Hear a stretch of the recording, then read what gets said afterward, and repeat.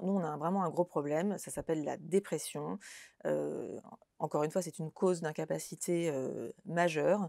Et il y a beaucoup de enfin, les antidépresseurs ne fonctionnent que pour, à peu près une personne sur 2 selon les études les plus favorables.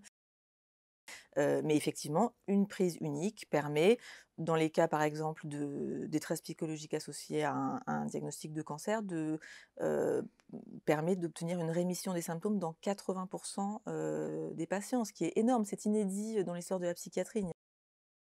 Et donc ils ont compris qu'en fait, au lieu de oui, au lieu de provoquer des des épisodes de folie expérimentale, c'était des substances qui au contraire, heu, hem, faisaient remonter à la surface toutes sortes de matériaux, heu, inconscients qui, n'étaient pas accessibles, dans le courant de la vie ordinaire, mais qui le devenaient, sous l'influence de la molécule. Bonjour. Et si l'on vous disait qu'il y a un traitement qui est en train de changer tout ce qu'on peut comprendre du traitement de la dépression, de l'angoisse et aussi euh, de la peur des gens en fin de vie. Est-ce que vous ne seriez pas intéressé? Bonjour, je suis Fabrice Midal, bienvenue dans Dialogue.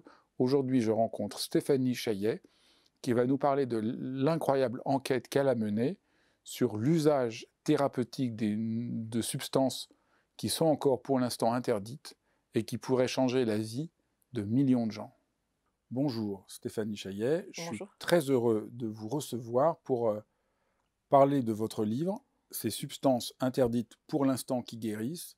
Vous êtes lancé dans une enquête euh, qui m'a beaucoup éclairé, qui m'a fait découvrir des choses auxquelles j'aurais jamais pensé, parce que euh, on, connaît encore très mal toutes les recherches qui sont en train d'avoir lieu dans le monde sur l'usage de ces substances interdites. Mais peut-être pour commencer, euh, puisque c'est comme cela que votre livre commence, comment vous êtes retrouvé, vous qui êtes, euh, comme vous le décrivez très bien, euh, une cartésienne qui a absolument rien de barré, à prendre, c'était du LSD de, des champignons, des champignons, des champignons la psilocybine.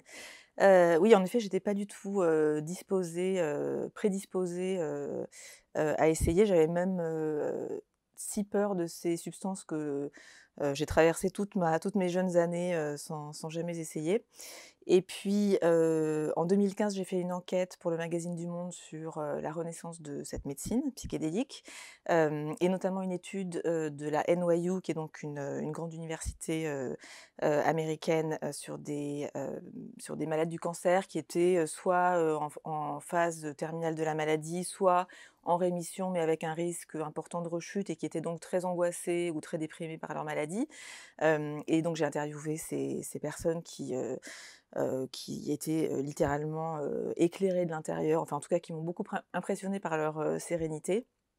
Et un an après, j'ai moi-même eu un diagnostic de cancer et donc je me suis dit, bah, je, je, veux absolument faire la même expérience que ces gens, euh, dans l'espoir que euh, ça me sorte de, enfin que ça me, comment dire, ça représentait pour moi une possibilité de me sortir par le haut euh, de l'épreuve du traitement.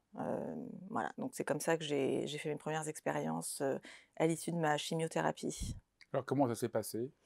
Alors à l'époque, j'étais très très peu renseignée, je ne connaissais pas du tout les, les, les, mille possibilités de, de, de cérémonies, de, de, pratiques encadrées qui existent aux États-Unis, donc j'étais un peu démunie, donc j'ai acheté des champignons. Un dealer et je me suis fait guider, accompagner par des amis qui, qui ont lu en fait le guide des bonnes pratiques de l'Institut USONA. Donc l'Institut USONA, c'est l'un des deux laboratoires qui sont en train de, développer euh, la, psilocybine comme médicament. Et ils ont publié un guide des bonnes pratiques pour les accompagnants. et donc voilà, il a suffi, il y, y, avait quand même une centaine de pages, mais armée de ce guide et de mes recherches, j'ai pu reconstituer à peu près les conditions du laboratoire à la maison. Et qu'est-ce qui s'est passé? Qu'est-ce que ça a changé de l'expérience du, cancer? Alors, ça a changé énormément de choses. Moi, j'y allais pour, comment dire, pour, pour, à cause de la, peur de la rechute, de la peur de mourir, de, enfin voilà, j'avais, j'ai eu un cancer à 45 ans, donc je m'attendais pas du tout à être, à ce que la mort vienne me, tirer par la manche à cet âge-là. donc ça a été quand même assez traumatisant. Le, le, le traitement est très très éprouvant. Donc mon objectif, c'était de, me débarrasser de, la peur de la rechute à l'issue de ce traitement, parce que c'est vraiment l'épée de Damoclès qui pèse sur tous les malades du cancer en rémission, c'est-à-dire est-ce que, est que, le cancer va revenir Et ça m'a ça a complètement réglé ce problème dès, la première, dès la première prise, c'est-à-dire que vraiment j'ai été libérée de cette peur très rapidement. Et puis après, ça m'a aussi ouvert d'autres choses que je ne soupçonnais pas, c'est-à-dire par exemple ça m'a reconnecté avec la nature, la nature dont j'étais vraiment coupée, enfin dont je m'étais coupée et privée depuis ma tendre enfance, et j'ai compris grâce au psychédélique que mon éloignement de la nature n'était pas du tout quelque chose de, qui, qui, avait trait à ma personnalité, mais qui en fait était le fruit d'un traumatisme dans ma petite enfance. Et donc j'ai compris la nature du problème et surtout j'ai pu résoudre ce problème. Et donc ça m'a vraiment rapproché du monde naturel. Et ça, non seulement c'est quelque chose qui, est, qui, est, qui, qui, se confirme dans des, dans des milliers de, de, de comptes rendus anecdotiques. Enfin, tout, énormément de gens qui prennent des psychédéliques disent que ça les rapproche de la nature, mais c'est validé par des études en laboratoire. On peut mesurer le, sentiment de, proximité, d'intimité avec la nature chez un être humain. et quand on le mesure avant et après une prise de psilocybine, on constate que l'intimité avec le vivant non humain augmente avec la prise d'un psychédélique. Il y a un moment dans, votre livre qui m'a beaucoup touché, où vous touchez et, et j'ai trouvé impressionnant. Vous décrivez que au fond, euh, d'un point de vue, il vous manquait rien de spécial, vous y allez assez bien, mais que euh, en prenant euh, la psilocybine, vous vous êtes rendu compte qu'il y avait quelque chose d'essentiel qui manquait à votre existence. Et, que là, il y a une sorte d'ouverture sur, c'est difficile de nommer, une dimension spacieuse plus grande, de communion plus grande ou spirituelle, qui est en même temps extrêmement personnel et intime, alors qu'en général, quand on parle de spiritualité, les gens ont souvent l'impression que on quitte le monde concret, tandis que vous, au contraire, c'est une réconciliation.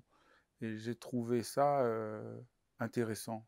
Peut-être vous pourriez dire quelque chose sur... Euh, oui, alors c'est très difficile, c'est vraiment très difficile à décrire en fait, parce que effectivement, tout ce qui a trait à la spiritualité, c'est quelque chose d'extrêmement intime en fait pour moi, enfin vraiment de, mais, mais oui, alors je me sentais, même avant de, prendre des, des psychédéliques, je, je, me sentais un peu pauvre en, en imaginaire et un peu spirituellement handicapée, parce qu'effectivement j'ai grandi dans une famille extrêmement cartésienne, scientifique, où tout ce qui avait trait à l'irrationnel était...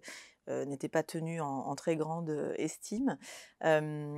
et, et oui, j'ai effectivement. alors, j'ai pas eu une expérience mystique comme celles qui sont décrites par certains des volontaires des essais cliniques.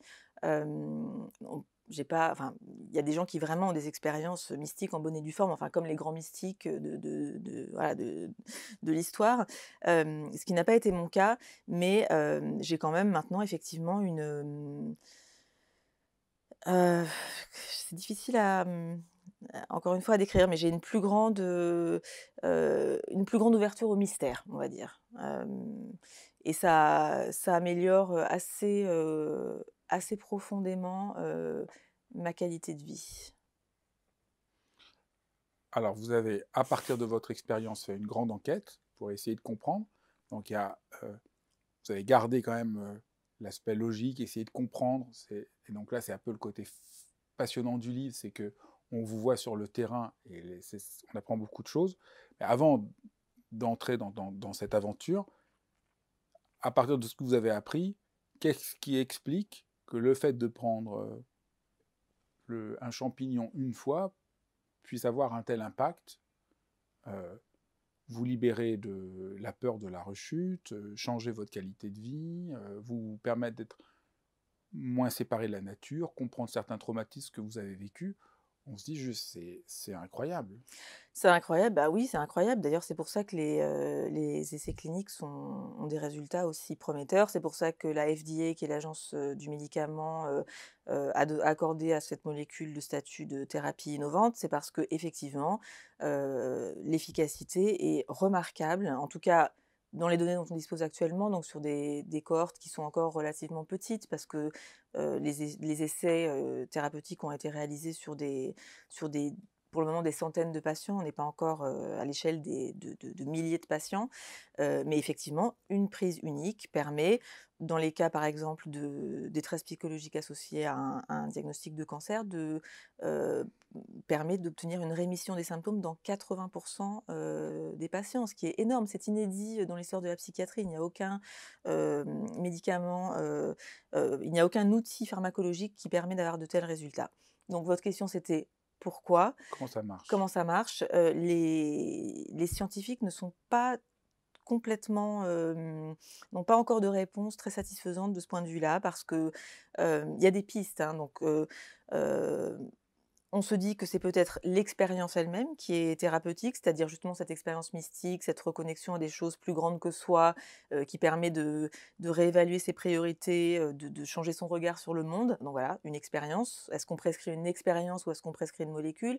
D'autres disent que c'est l'effet de la molécule dans le cerveau, que ça active certains, certains réseaux neuronaux, que ça favorise la plasticité cérébrale, donc il y aurait peut-être une piste biologique, il y aurait une piste plus phénoménologique. Donc, si on, peut creuser, parce que donc la piste phénoménologique, je trouve qu'il y a un exemple que vous donnez, qu'un des chercheurs qui m'a que je trouve éclairante, c'est il, explique que de la même manière qu'un traumatisme violent que quelqu'un peut vivre peut changer sa vie, il n'y a pas de raison que le contraire d'un traumatisme, une expérience vraiment profondément euh, euh, rassurante, réconfortante, euh, éclairante, ne puisse pas avoir un, impact. Donc ça, je trouve que c'est une idée forte qu'on peut, qu'on peut, disons, intellectuellement comprendre. Absolument. C'est un anti-traumatisme. C'est très parlant, c'est le contraire du traumatisme, selon c'est, Exactement. C'est une expérience transformatrice, mais au lieu, au lieu d'être transformatrice pour le pire, c'est-à-dire elle l'est pour le,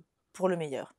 Et donc la deuxième chose, donc vous disiez, donc ça c'est plus, ça serait plus au niveau biologique, une sorte de chimie du cerveau, c'est ça? Mmh mmh alors là, on, est, on, en est encore au, balbutiement parce que donc il y a des études de neuroimagerie depuis une dizaine d'années à peu près, et donc on sait à peu près ce qui se passe dans le cerveau quand il est sous l'influence d'un psychédélique. On sait quels sont les réseaux qui sont plus ou moins activés, désactivés. On sait que le réseau du mode par défaut, qui est, qui est le faisceau de neurones qui se, qui se, qui s'active quand le quand le cerveau est au repos, c'est-à-dire quand il, quand il vagabonde, on va dire, dans des rêveries, ou quand il pense à l'avenir, ou au passé, ou quand on pense à, soi-même, enfin voilà, quand on n'est pas concentré sur une tâche spécifique, ce réseau-là est, on va dire, non pas désactivé, mais en tout cas, il est, Transformé. Très, il est très affaibli. Oui, parce qu'en fait, j'ai vu, mais en, en, cherchant un peu, c'est pas tellement, c'est plutôt qu'il est transformé, parce qu'il reste là, parce qu'il y a quand même une forme d'imaginaire qui va dans tous les sens. Donc c'est juste une certaine mode du cerveau, du réseau par défaut, celui du, du euh, ressassement. De la rumination. Rumination qui tourne autour de moi, et qui, qui, qui, se désactive, et il continue de, de, de, jouer, mais plus en liberté, on pourrait dire. Voilà, donc le réseau du mode par défaut qui est qu'on pourrait décrire comme l'adresse de, l'ego ou du moi. Enfin, c'est vraiment le, le c'est le siège de, de l'identité et de, enfin, ce qu'on appelle le, ce que certains appellent le propre de l'homme, c'est-à-dire cette capacité justement à se projeter dans l'avenir, dans le passé, à s'absenter du présent en fait. Voilà. Donc ça, ça prend vraiment un, sacré coup dans l'aile. c'est d'ailleurs le cas aussi chez les méditants très avancés. Enfin, il y a eu des études d'imagerie sur les, sur les gens qui font de la méditation et le, réseau du mode par défaut est également déstabilisé par, le, par, par la méditation. Donc ça, ça peut être une piste d'explication. mais comment expliquer que ça provoque un tel reboot en fait du cerveau qui fait que on se réveille le lendemain avec un regard neuf sur le monde, Ça, ça reste encore un grand mystère et je pense qu'on a, encore beaucoup de, mmh, il y a encore beaucoup de travail à faire pour, pour élucider les, mécanismes de, les mécanismes d'action. Cela dit, les antidépresseurs, par exemple, sont des médicaments qu'on prescrit depuis une trentaine d'années sans savoir exactement comment ils fonctionnent dans le cerveau aussi.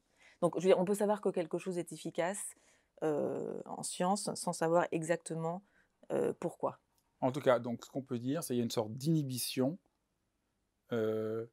du sens de l'inquiétude du moi, du ressassement qui tourne en boucle et qui joue un rôle majeur dans les épisodes anxieux, dans mmh l'anxiété et dans la peur. Il y a quelque chose comme ça qui, qui, qui, se transforme. vous comparez ça aussi un peu à ce qui peut se passer chez les, jeunes enfants? Oui, alors ça, c'est effectivement c'est une comparaison que beaucoup des, euh, chercheurs en, neurosciences font. le, les aires corticales qui normalement ne se parlent pas entre elles chez l'adulte, parce qu'elles sont extrêmement spécialisées, se remettent à communiquer entre elles et c'est tout à fait comparable à ce qui se passe dans le cerveau d'un enfant de, de 2 ou 3 ans. C'est-à-dire que les aires corticales ne sont pas encore très spécialisées, celles qui sont consacrées par exemple à l'ouïe ou, à l'odorat. Et donc elles se, mmh, elles sont, elles se, elles se, oui, elles se, elles se parlent entre elles, d'où probablement d'ailleurs les phénomènes synesthétiques qui peuvent être vécus sous psychédélique, c'est-à-dire que il y a des correspondances entre les sons, les images, les, les couleurs, etc les odeurs. et donc voilà, ça correspond effectivement à un mode de cognition plus, plus infantile et surtout plus associatif, beaucoup moins rationnel, logique, plus intuitif, plus associatif, ce que en psychanalyse on appelle le processus primaire. Donc le, vraiment la, pensée, la pensée qui est en jeu, le mode cognitif qui est en jeu dans la, dans la prime enfance et puis qui est en jeu aussi dans le rêve par exemple, ou enfin dans tous les moments où le le moi freudien est, absent. Moi, ça m'intéresse évidemment au plus haut point, puisque je ne cesse de m'inquiéter de l'obsession de l'occidental actuel d'être tout dans une sorte de pleine conscience mmh complète. C'est ça que j'ai autant critique sur la méditation de pleine conscience qui me semble infernale, mmh puisque l'idée d'être dans la pleine conscience tout le temps, moi, l'expérience que j'ai pu découvrir dans la méditation, c'est que dès qu'on lâche la conscience, on retrouve une dimension de présence au monde beaucoup plus ouverte et libre. Mmh Donc ça m'intéressait dans les entretiens. J'avais fait un entretien avec Corinne Sombrin sur la transe parce que je trouvais que c'était un état qui permettait de se relier à cette dimension fondamentale. Mmh. J'ai interrogé aussi euh, des hypnothérapeutes parce que l'hypnose aussi nous ouvre à cette dimension fondamentale de guérison. Et ce que je trouvais passionnant dans votre livre, c'est découvrir un monde que je ne connaissais pas euh, des psychotropes, qui est une autre manière de réouvrir ce champ de vie euh, profonde dont nous, et on est assez unique dans l'histoire euh, de l'humanité, d'être à ce point obsédé par la conscience et le contrôle, qui nous a coupé de cette dimension euh, fondamentale qu'on voit que d'autres populations et les Occidentaux à d'autres époques de l'histoire de l'humanité ont eu un rapport plus libre avec. Je ne sais pas si vous partagez, disons, cette analyse. Oui, bien sûr. Bah, il y a de très grands points communs entre l'hypnose, enfin l'état de, de transe hypnotique, l'état de transe induite par la musique, ou voilà, et celle de et la transe psychédélique. C'est aussi une transe. Enfin, je veux dire, on est bien sûr dans les mêmes, dans le, c'est la même famille d'expériences, avec des, des, variations évidemment et des des particularités. Mais oui, oui, tout à fait. Il y a une, il y a une grande proximité entre ces expériences. Alors, ce qu'on découvre, c'est que euh, la grande force des psychédéliques, c'est euh, voilà, que c'est beaucoup plus facile pour les gens à apprendre que se lancer euh, dans la pratique de la méditation ou apprendre la transcognitive que présente Corinne Sombrin. Et du coup, ça permet des traitements pour aider des gens. Et donc là, on pourrait peut-être prendre quelques-unes des études qui ont été faites. Donc la première étude c'est celle sur le cancer en, le cancer en stade terminal. C'était ça les premières études. Oui. je disais dans une autre vidéo que c'est comme ça que moi, j'ai commencé à m'intéresser au sujet, puisque tous mes amis américains, tous les auteurs que je publie en spiritualité, mais en psychologie, tous m'ont dit le truc qui nous a le plus secoué, c'est ces études, qui a quand même eu un impact considérable chez, des, voilà, chez tout le monde, puisqu'on voit des gens en fin de vie dans un état d'angoisse, de panique devant, devant mourir, qui prennent une seule dose et qui sont euh, euh, sereins. Oui, ça réenchante les derniers jours de personnes qui étaient qui se savent donc, condamnées, à plus ou moins courte échéance et qui, étaient dans une très grande détresse par rapport à leur mort, imminente, dans des proportions qui sont, remarquables. Encore une fois, je pense que c'est autour de 80% de réussite, thérapeutique, aussi bien dans les études historiques des années 50 et 60 que dans les études contemporaines et la raison pour laquelle les premières études, ont été consacrées justement à cette indication, hein, la détresse associée à un diagnostic de cancer, c'est parce que les études historiques, donc celles des années 50 et 60, euh, étaient déjà remarquables. Et donc les, euh, les, pionniers de cette deuxième vague de recherche, quand ils ont voulu demander des autorisations euh, administratives pour relancer les études sur la psilocybine, se sont dit, ils n'avaient pas beaucoup d'argent, euh, et donc ils se sont dit, il faut vraiment qu'on vise juste, qu'on choisisse la, bonne indication, et la fin de vie leur paraissait la meilleure indication parce que les études historiques donc, étaient les plus belles, les plus prometteuses, et effectivement, ça, les, les résultats ont été à peu près comparables. 80% de, de, rémission de, symptômes anxieux et dépressifs. et c'est d'ailleurs pour ça que moi j'ai été tellement fascinée par ces, par, ces thérapies, parce que j'ai rencontré ces gens, ces, ces, volontaires, qui étaient, encore une fois, qui irradiaient. Enfin, ce sont des gens qui, qui ont une, une sérénité. face à leur propre mort qui, à mon avis, est, est ce qu'il y a de plus enviable chez, l'être humain. Enfin, Qu'est-ce qu'il vous racontait? Qu'est-ce qu'il vous disait que... Qu'est-ce qui s'était passé? Toutes les expériences sont différentes, c'est ça qui est, assez merveilleux, parce que c'est comme des rêves en fait. Il n'y a pas deux personnes qui ont les mêmes rêves, donc d'aucuns voyagent dans leur corps, d'autres retrouvent leurs proches. Enfin, je veux dire, il y a vraiment toutes sortes d'expériences, mais au bout du compte, le résultat, c'est que ce sont des gens qui retrouvent leur appétit de, vivre, le désir de profiter de chaque instant qui leur reste, un sentiment de proximité accru avec leur entourage. En fait, c'est quelque chose qui, resserre tous les liens, les liens avec soi-même, avec les autres, avec le monde extérieur, avec la nature, avec l'univers. c'est vraiment une, thérapie du lien, de, des liens, quoi, de, tous les liens. Peut-être que le, grand changement entre les études des années 50 et 60 et ce qui a lieu aujourd'hui, vous en parlez quand vous avez décrit votre propre expérience, c'est que euh, on a beaucoup mieux compris que le cadre dans lequel on prenait la substance était presque aussi importante, enfin était, était, très importante. Ça conditionnait l'impact que ça avait. Et qu'il ne s'agit pas euh, de prendre ça n'importe comment, mais il y a tout un cadre. Peut-être on pourrait essayer de décrire ce cadre-là j'ai raison, c'est ça qui est un peu le changement entre. Vous avez tout à fait raison. En fait, ce changement avait été amorcé dès les années 60 parce que les Américains, notamment, et les Canadiens, se sont rendus compte assez rapidement que ces substances dont on pensait qu'elles étaient au départ psychotomimétiques, c'est-à-dire qui imitaient les symptômes de la, de la folie, étaient en réalité, enfin, leur action était très fortement déterminée par ce que les chercheurs appellent des variables extra-pharmacologiques, c'est-à-dire en gros tout ce qui a trait au contexte de l'expérience, le contexte expérimental et à l'état d'esprit de la personne qui, qui, ingère la substance. et ça, c'est vraiment très très spécifique au psychédélique parce que quand on vous donne un opiacé ou un antidépresseur, le contexte importe peu, votre état d'esprit importe peu, la molécule va faire son œuvre, quelles que soient les conditions.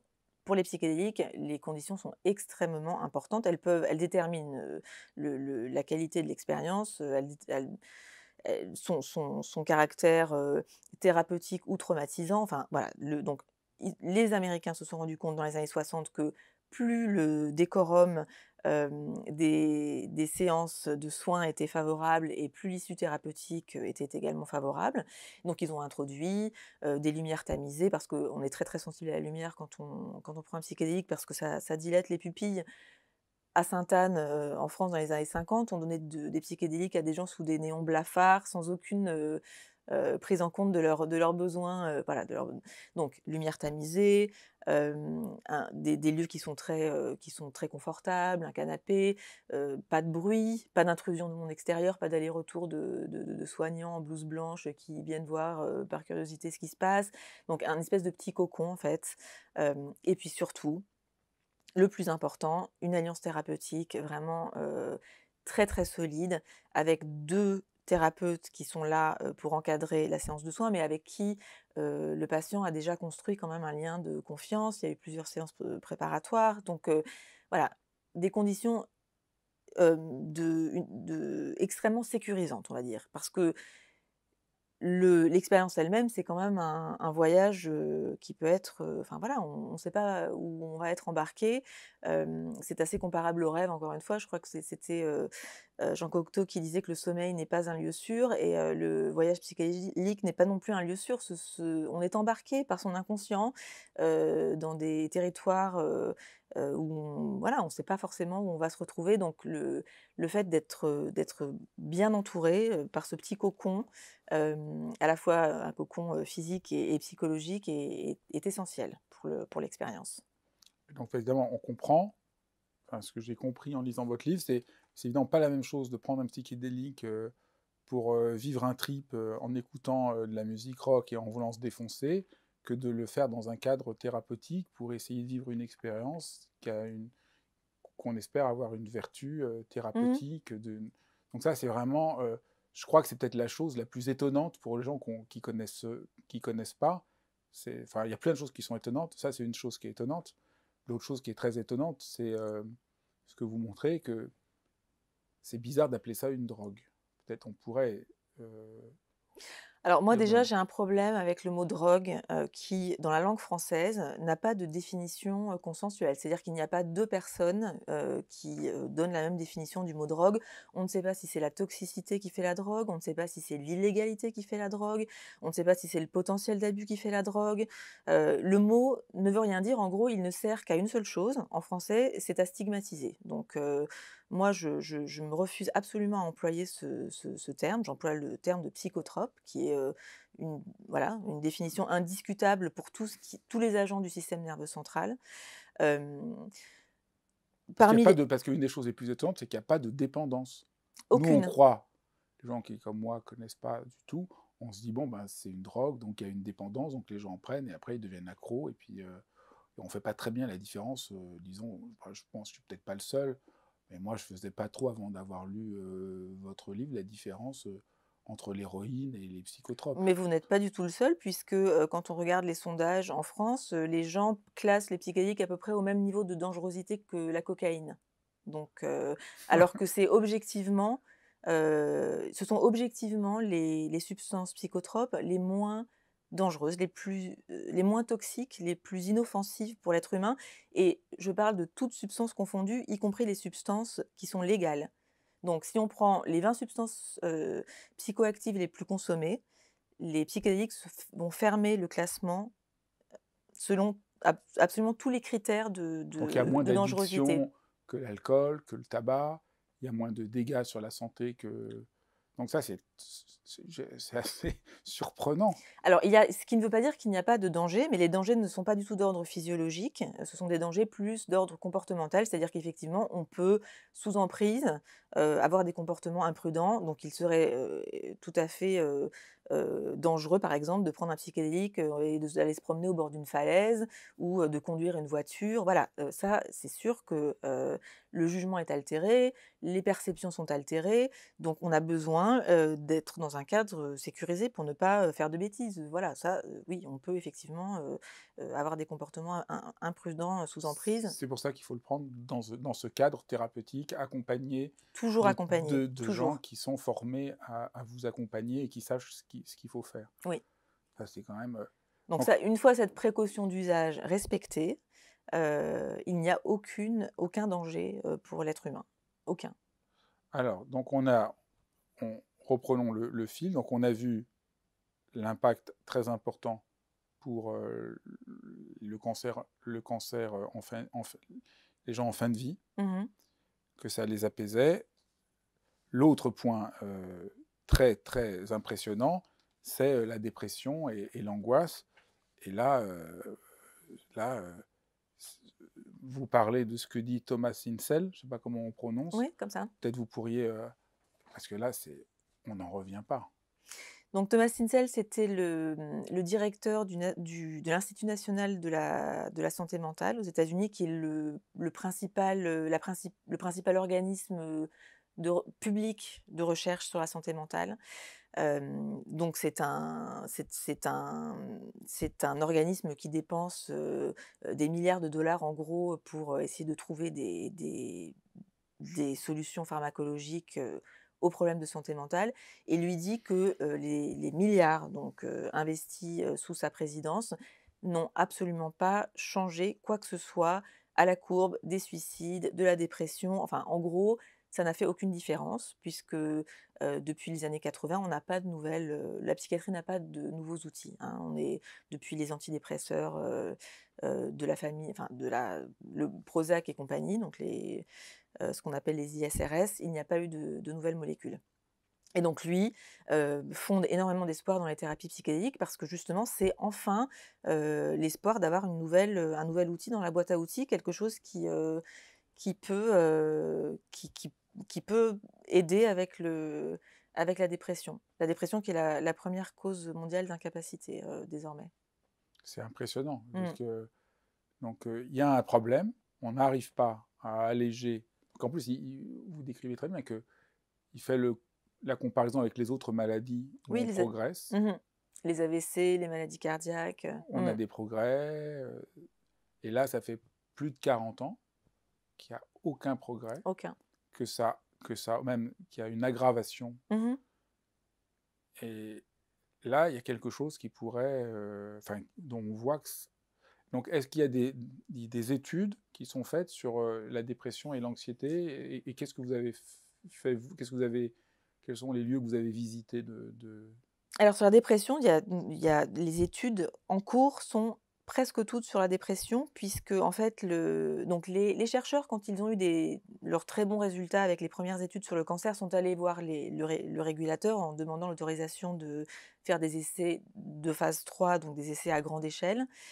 Et la FDA leur a dit oui, d'accord, mais nous, ce qu'on aimerait que vous étudiez, c'est pas le, c'est pas l'anxiété de fin de vie, parce que ça, ne concerne que peu de gens. Nous, on a vraiment un gros problème. Ça s'appelle la dépression. encore une fois, c'est une cause d'incapacité majeure. et il y a beaucoup de, enfin, les antidépresseurs ne fonctionnent que pour à peu près une personne sur deux, selon les, les études les plus, les plus favorables. certaines études semble même indiquer qu'elles, qui sont à peine plus efficaces que le placebo. et donc les études maintenant en cours sont des études sur la dépression. Dans, sont des études multicentriques donc en Europe et aux États-Unis, dans plusieurs, dans plusieurs endroits, il y a des études de la psilocybine pour la dépression majeure. Vous, vous avez visité ou rencontré des chercheurs sur ce... Bah, en fait, les... oui, oui, les, chercheurs que j'ai rencontrés aux États-Unis travaillent maintenant sur la dépression.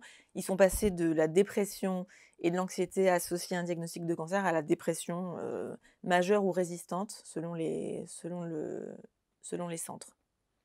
Et euh Avec des résultats qui sont euh, également excellents. Pas aussi spectaculaires que pour la, fin de vie. C'est-à-dire que la fin de vie, on est encore une fois dans des, taux de, rémission qui sont autour de 80%. Là, c'est un peu inférieur à ça, mais des, des, résultats qui sont très prometteurs sur la dépression également. Autre domaine de recherche, l'alcoolisme. L'alcoolisme. Alors, ça, c'était une des indications qui avait été énormément explorée justement lors de la première vague de recherche dans les années 50 et 60 des psychiatres canadiens s'étaient dit on va donner du LSD à des alcooliques pour voir si ça peut pas provoquer une sorte d'équivalent du délirium mince, qui est donc une des complications possibles aiguës de l'abus d'alcool, qui avait tendance, ce fameux délirium mince, parfois à, à, provoquer des sevrages spontanés parce que les gens avaient une sorte de révélation, ou, peut-être c'était tellement éprouvant qu'après ils ne voulaient plus boire. Donc ils s'étaient dit peut-être qu'on peut recréer un peu la même chose. Et en fait, ils se sont rendus compte que loin d'avoir des expériences atroces. atroces, ils avaient des expériences au contraire mystique extraordinaire qui faisait qu'ils n'avaient plus, plus envie de boire, mais pas... Enfin, pour d'autres raisons. par, pas des goûts, mais par réconciliation avec des choses profondes en eux. Exactement, exactement. Et ça avait été très efficace. Enfin, je veux dire, il y a des milliers et des milliers d'alcooliques qui ont été soignés au LSD dans les années 50 et 60, avec des résultats vraiment très très bons. Et donc, une fois que les premières études dans les années 2000 sur le cancer ont, été, probantes, ils sont passés justement à cette indication de, de, des addictions en général, donc à l'alcool, au tabac. Il y a eu des études sur le sevrage tabagique aux États-Unis à Johns Hopkins qui ont des résultats extraordinaires aussi. Encore une fois, des petites cohortes, mais quand même des taux de, de, des gens qui sont, qui, sont abstinents, enfin, je, crois qu'ils avaient un taux de 60 ou 70% d'abstinence à un an, ce qui bat toutes les méthodes de sevrage tabagique aujourd'hui disponibles. Et puis aussi sevrage d'opiacés, donc cocaïne. et puis maintenant, il y, a des études sur l'addiction aux opioïdes, qui est un énorme problème de santé publique aux États-Unis, comme on sait, avec des, milliers et des milliers d'overdoses tous les ans. Et il y a des recherches aussi, vous racontez, en Arizona sur le trouble obsessionnel compulsif.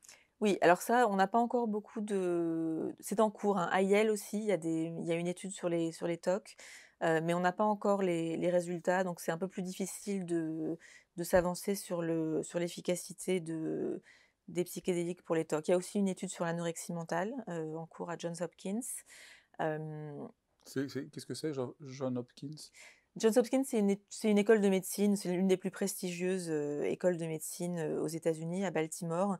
Et ils ont un centre de recherche psychédélique qui a été en grande partie financé par les, les fortunes de la Silicon Valley et qui est l'un des, des centres qui produit le plus de, de, de recherche en ce moment dans le monde. Quels sont les grands lieux de la recherche sur les psychédéliques? Alors, les grands lieux de la recherche, aux États-Unis, c'est donc Johns Hopkins, je pense que c'est le, principal. Il y a un petit, euh, un petit pôle à UCLA aussi en Californie. Euh, Yale, l'université Yale euh, a également ouvert un centre de recherche psychédélique. Le la université NYU, New York University, en a un aussi.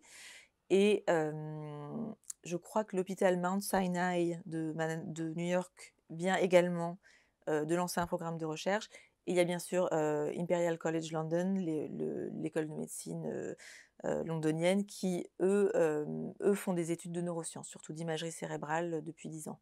Donc en fait, c'est encore, c'est très enthousiasmant l'impact que ça a, mais on est encore au balbutiement et aux toutes premières recherches. On est encore au balbutiement parce qu'il n'y a pas un centime d'argent public pour le moment qui a été investi dans ces recherches. Tout est financé par des dons privés ce qui quand même, enfin moi je suis, je suis, je suis, je dois dire, je suis épatée par le fait qu'ils aient réussi à aller si loin avec, à, mobiliser autant d'argent privé, mais il se trouve qu'il y a quand même beaucoup de mécènes américains qui, croient dans ces, dans cette, dans ces thérapeutiques.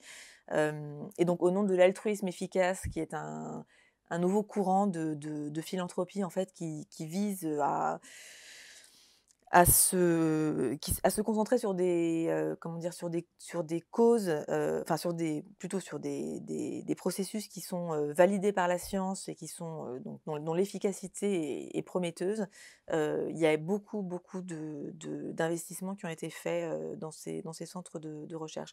Johns Hopkins, par exemple, leur, leur capitalisation, c'était je crois 17 millions de dollars quand ils ont ouvert le centre de recherche sur les psychédéliques la NYU vient d'en ouvrir un avec 10 millions de dollars de dons privés. voilà, donc tout ça est financé par, des, par des dons privés. Il n'y a aucun pays encore qui fait de la, qui, où le gouvernement s'est engagé. Aucun. Et est, d'où vient la, la, la, résistance? Il y a autant d'études qui montrent que ça a un impact. Je pense qu'aux États-Unis, ça va se faire bientôt. Je pense que le, justement l'Institut de recherche nationale sur la santé mentale va, finir par, financer. mais je pense que les résistances jusqu'à présent sont liées au bagage culturel, tout simplement, voilà, à l'héritage de, la guerre contre la drogue, à l'image désastreuse que ces molécules ont, acquise dans les années 60 à la faveur des mouvements de contre-culture, etc. Et on a eu un peu de mal à se, se débarrasser de ces, de ces préventions. On pourrait creuser un peu, qu'est-ce qui s'est passé dans les années 60 Comment, puisqu'au fond, dans les années 50, 60, il y a beaucoup de recherches. Énormément, oui. Beaucoup plus qu'aujourd'hui. Hein. Et qu'est-ce qui s'est passé? Pourquoi ça, ça, il y a eu un arrêt aussi euh, Alors, aussi radical, pardon. Si on veut raconter ça de façon un peu euh, schématique, je, on pourrait dire que les substances se sont échappées du laboratoire, c'est-à-dire qu'en en fait, elles ne sont pas vraiment échappées toutes seules, mais les, les, chercheurs ont très souvent testé leurs leur substances sur des étudiants, en fait, parce que c'était donc dans des milieux universitaires.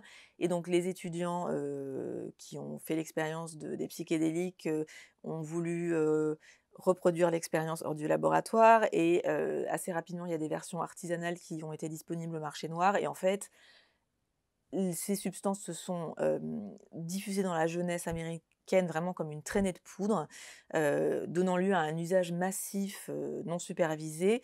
et c'était, c'était complètement inédit en Occident, c'est-à-dire que personne ne, savait. personne n'avait le mode d'emploi en fait. et donc comme c'était, évidemment, ça s'est conjugué à toutes sortes de mouvements de contre-culture, de pacifisme, mouvements amérindiens, féminisme, donc ça a été associé à des, à à des revendications qui, euh, dont on considérait qu'elle menaçait l'ordre social. Et donc, euh, forcément, ça, ça engendrait ce que les sociologues américains appellent une panique morale.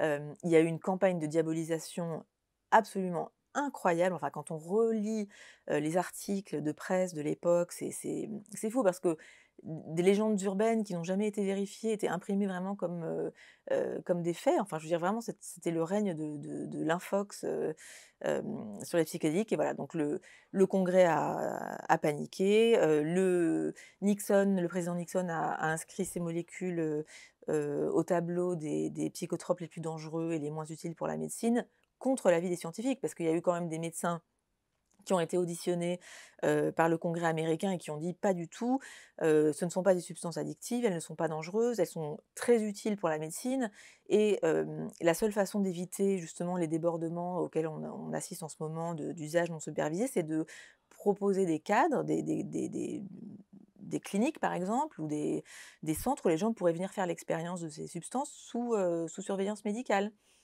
Et ce qui est très amusant, c'est que c'est ce qui est en train de se passer aujourd'hui dans l'Oregon, par exemple. L'Oregon, l'État de l'Oregon a voté en novembre dernier donc un, modèle de, légalisation contrôlée des, psychédéliques qui propose effectivement des centres où les gens, comme vous et moi, il n'y a pas du tout besoin d'avoir un, diagnostic psychiatrique, pourront aller faire l'expérience de ces molécules sous surveillance, sous, sous, surveillance, voilà. Dans, disons, dans le cadre qu'on a décrit, qui est le cadre approprié. Exactement. mais ce qui est complètement étonnant, c'est que l'interdiction des psychotropes ne vient pas de leur dangerosité, mais d'une peur panique de, ce que ça entraînait comme critique euh, de l'ordre moral, de la guerre du Vietnam, euh, d'un certain État euh, patriarcal. Enfin, c'est quand même quelque chose qui est aussi très peu connu.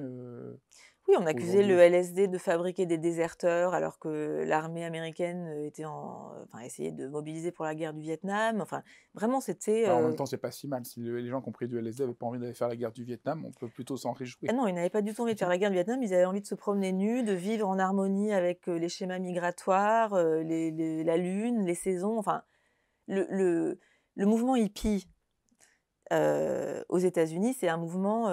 on est très loin, par exemple, de mai 68, hein, qui était un mouvement très politique. les hippies n'étaient pas tellement intéressés par la politique. C'était pas des gens qui lançaient des pavés. Qui, c'était des gens qui étaient vraiment, enfin, qui avaient des conversations avec des arbres, qui essayaient de sauver des baleines. Le, les psychédéliques sont vraiment ont un, oui, ont un effet. Enfin, ont cet effet-là sur les les humains, il les, il les, il les, il les rapproche de, de, la nature, entre autres. Et est-ce qu'il y a des recherches un peu euh, en Europe? On a parlé un tout petit peu de l'Angleterre, mais est-ce qu'en France, il y a, il y a des, euh, il y a un peu de recherche ou, Pas du tout. Pour l'instant, en France, c'est pas du tout. Euh il y a un embryon de tentative de de recherche dans deux ou trois hôpitaux parisiens, mais ils sont très très loin d'avoir les autorisations encore et les financements surtout. donc je. Il y a d'autres endroits en Europe où c'est. En Suisse. En Suisse, il y a des études. je pense que la Suisse et l'Angleterre sont les deux pays européens qui ont le, qui ont le, qui ont le plus de, de travaux contemporains.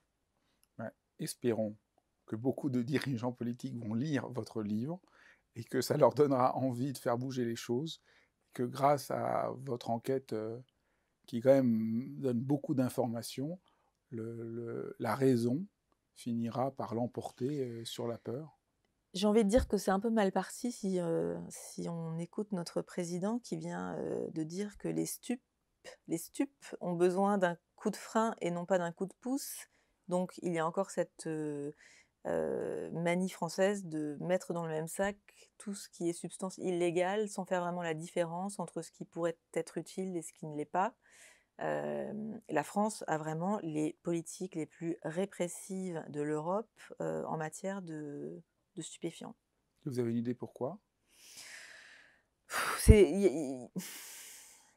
C'est très complexe. Il y a beaucoup de raisons. Enfin, non, je, préfère ne pas me prononcer sur, ce, sur cette question-là spécifique de, du rapport des Français aux drogues parce que c'est très compliqué. Je, je, je, sors mon joker là-dessus. je, non, je peux par contre parler plus facilement du, de la raison pour laquelle on a une méfiance par rapport aux psychédéliques en, particulier.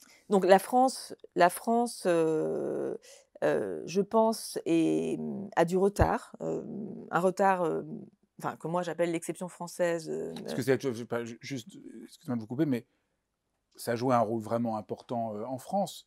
Il y a plein de penseurs importants. Bon, évidemment, on pense au premier chef à Michaud. On sait qu'il y a eu des recherches à Sainte-Anne.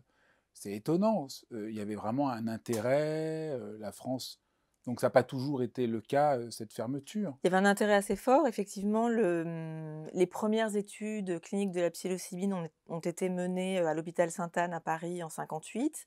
il y a eu beaucoup, plusieurs intellectuels français qui ont expérimenté ces substances, des artistes, etc. Mais les, chercheurs français, les psychiatres, sont, à mon avis, passés à côté de, l'effet thérapeutique. ils se sont intéressés à ces substances parce qu'ils pensaient qu'elles les aideraient à comprendre les bases biologiques de la maladie mentale, ce qui s'est révélé une fausse piste, ici comme aux États-Unis. Mais les Américains, eux, ont vu que ces substances étaient, étaient, thérapeutiques et donc. Parce que c'était quoi la croyance qu'on avait qui n'a pas fonctionné? La croyance c'était que c'était une qu'elle provoquait chez le chez l'être humain des psychoses expérimentales en fait et que ah. si, un, si, une substance comme le LSD pouvait, en très petite quantité, provoquer des folies, des folies expérimentales, ça voulait dire que peut-être il y avait dans l'organisme que l'organisme humain lui-même pouvait sécréter ce genre de des substances qui étaient invisibles à l'œil nu, mais qui donc pouvaient provoquer peut-être des, des, des, compensations psychotiques ou des choses comme ça. Donc on pensait que grâce à la grâce à ces substances, on vivait des formes de psychose en miniature. Exactement. C'est intéressant parce que c'est le même, la même chose que raconte Corinne Sombrin. Au début, dans les premières recherches, ils lui ont dit qu'elle était qu'elle était en train de faire des psychoses. Elle disait mais pas du tout, et ils ont mis beaucoup de temps à changer leur fusil d'épaule et se rendre compte qu'elle n'était pas en train de vivre une psychose, mais quelque chose qu'ils avaient du mal à comprendre.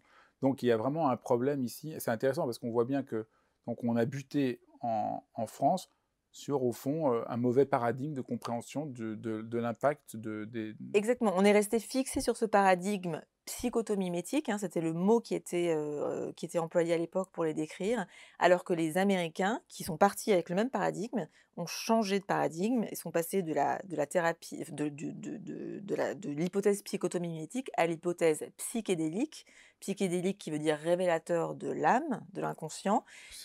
Et donc ils ont compris qu'en fait, au lieu de oui, au lieu de provoquer des, épisodes de, folie expérimentale, c'était des, substances qui, au contraire, faisaient remonter à la surface toutes sortes de, matériaux inconscients qui, qui n'étaient pas accessibles dans le courant de la vie ordinaire, mais qui le devenaient sous l'influence de la, de la molécule. Quand on entend tout ça, on se dit, mais c'est fou l'ignorance, parce que quand on connaît toute l'histoire de la pensée, ce que déjà décrit Platon sur la, folie saine et tout ça, on se dit c'est étonnant que le cadre de pensée est aussi restreint par rapport à, enfin, même à une expérience humaine fondamentale, que des expériences d'ouverture, de plénitude, de, ce qu'on appelait le sentiment océanique et tout ça, la compréhension de la mystique sauvage que propose Michel Hulin. Enfin, il y a tout un cadre, ce que dit Bergson. Enfin, on,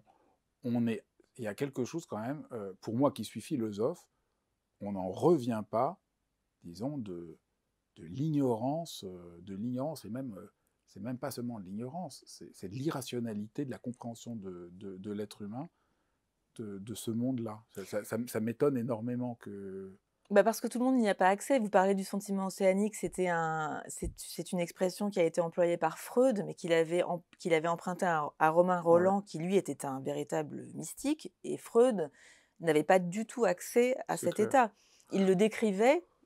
Oui, de manière euh, critique, mais, mais, disons, ce qui est étonnant, c'est que voilà, c'est quand même, quand même un état euh, qui est quand même très bien exploré, documenté dans l'histoire de l'Occident, qui n'est pas quelque chose de bizarre qui a jamais eu lieu. C'est pas un truc, euh, voilà. C'est pas en plus ce qui est intéressant, c'est que euh, on n'a pas l'impression que les psychotropes font vivre une expérience euh, qui est hors du champ d'une expérience humaine. Il y a plein d'autres êtres humains qui l'ont vécu. On a parlé de la méditation, on a parlé de l'hypnose. Enfin, on se rend compte que dans l'histoire de l'humanité, je dis, je parlais de Freud, je parlais de Bergson, qui réfléchit beaucoup à ces questions-là. je veux dire, des philosophes parmi les plus grands philosophes de l'histoire. André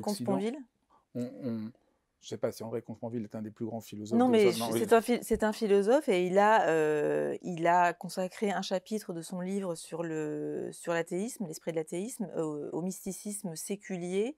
Euh, lui a une expérience mystique spontanée dans, à l'occasion d'une promenade en forêt. le contact avec la nature ou avec l'art aussi. que je parlais de Michel, oui, je parlais de Michel Hulin.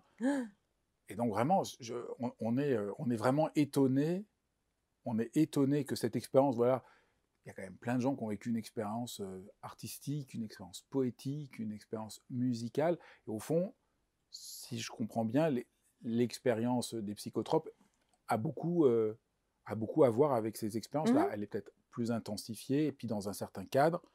Mais, mais donc, on est, on est déconcerté. Euh, qu'elle a été pensée, j'ai oublié le mot très beau que vous avez employé, comment vous avez dit Psychotomimétique. Oui, ça fait très.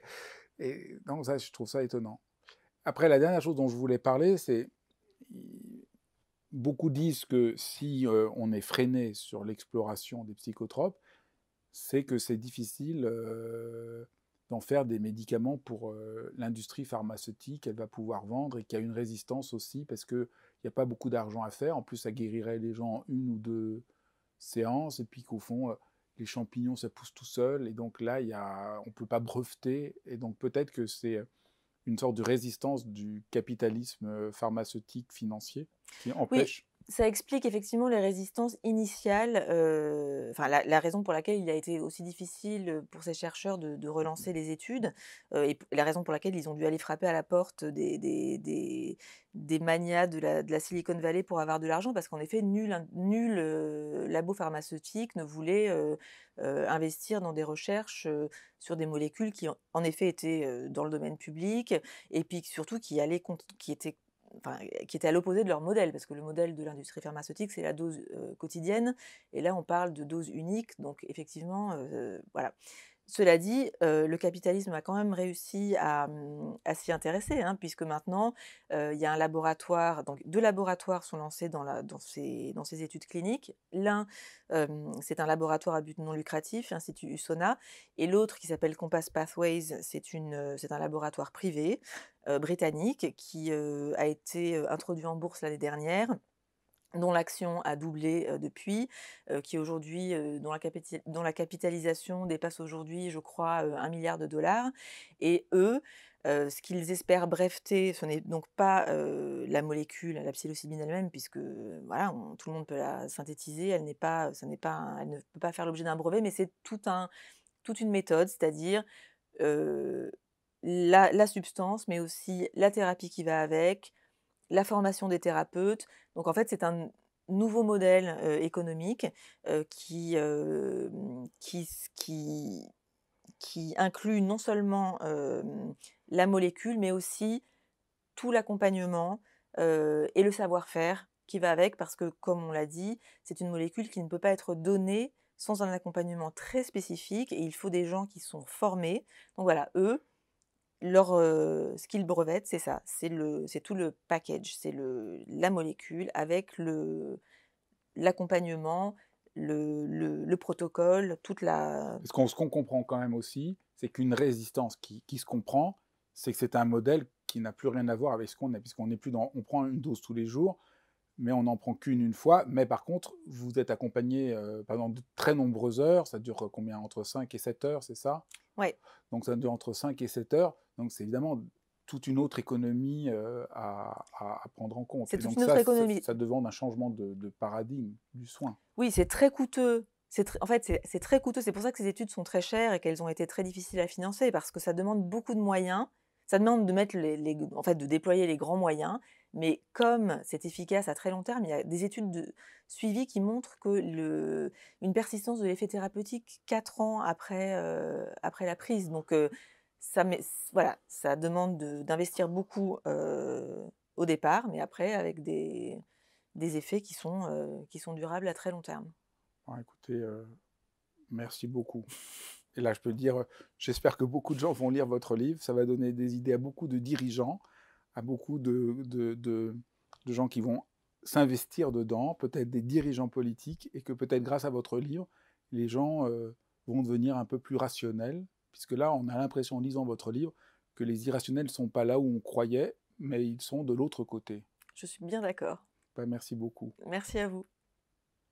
J'espère que cet épisode de dialogue vous a plu et que vous avez été comme moi euh, marqué, éclairé, peut-être impressionné par tout ce que Stéphanie Chaillet a partagé avec nous.